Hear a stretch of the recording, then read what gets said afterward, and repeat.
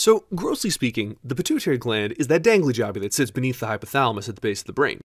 Remember what that part of the skull is called? The one with the pituitary inside? It's called the sella turcica, or the Turkish saddle.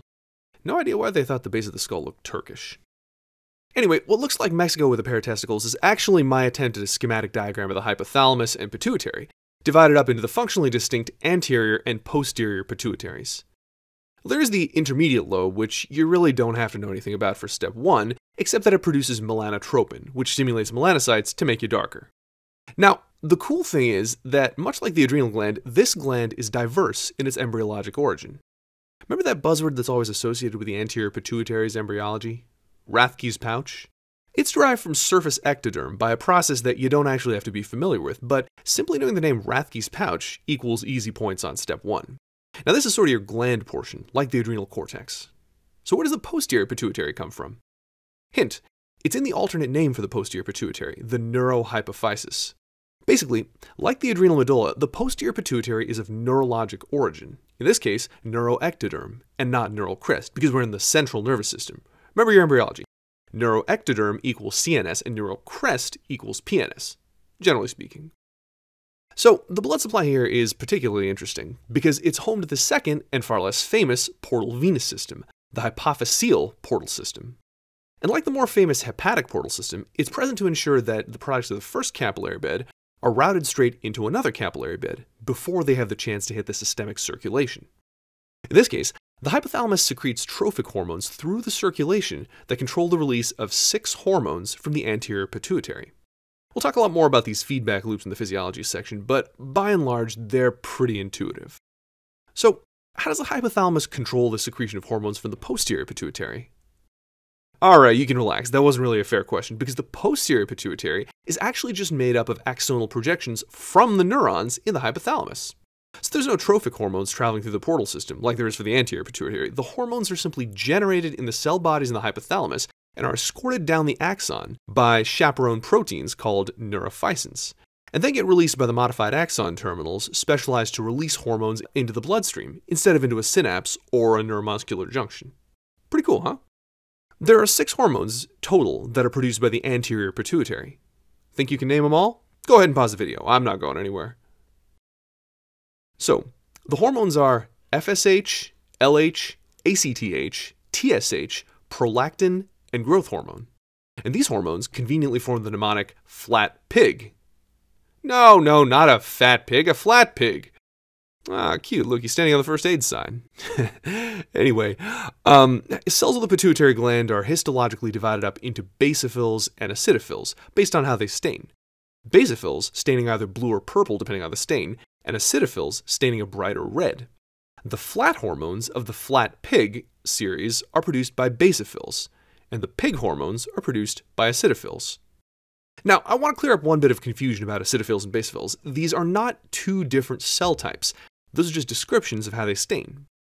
The five different cell types secrete six different pituitary hormones, and it just so happens that the corticotrophs, gonadotrophs, and thyrotrophs all take up base and stain blue, so we call them basophils.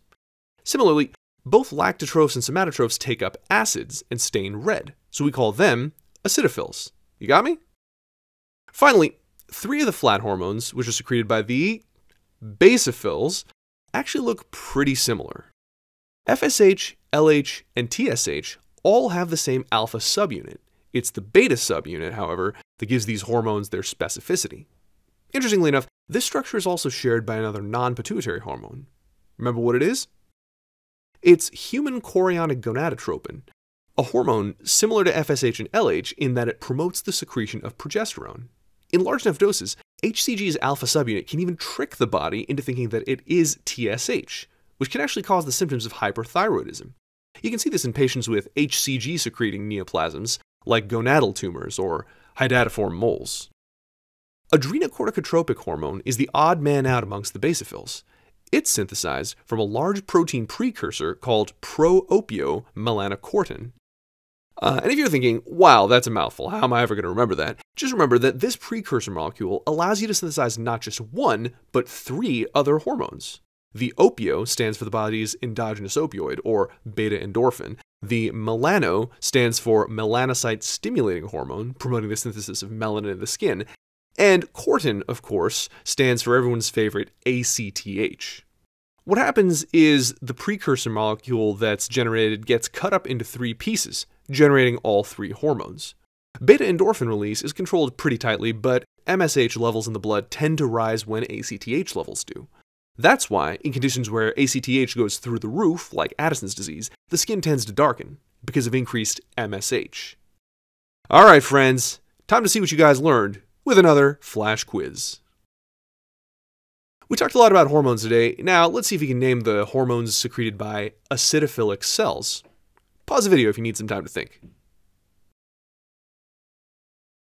The answer is prolactin and growth hormone, otherwise known as somatotropin. As a refresher, the anterior pituitary hormones are flat pig. FSH, LH, ACTH, and TSH are all secreted by basophils, whereas prolactin and growth hormone are secreted by acidophils. Now, let's go back to our friend the posterior pituitary, just to see if you were listening the first time. Where are these hormones produced? The answer is the hypothalamus. Now, there's two hormones that are produced here, so it's not quite as crazy as the anterior pituitary. Vasopressin is produced in the supraoptic nuclei of the hypothalamus, and oxytocin is produced in the paraventricular nuclei. My mnemonic, and I have no idea why nobody's thought of this before, is VSOP. For those of you who don't know, it's a grade of cognac that means my drink is better than yours. So think about that posterior pituitary next time you pass the Courvoisier.